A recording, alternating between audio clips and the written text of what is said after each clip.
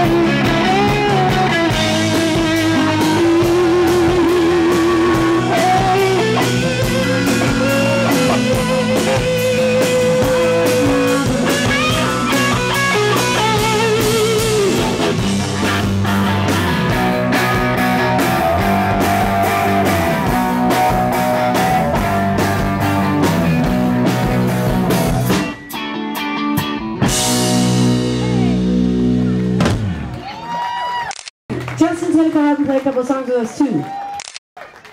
And it's really nice for all y'all to be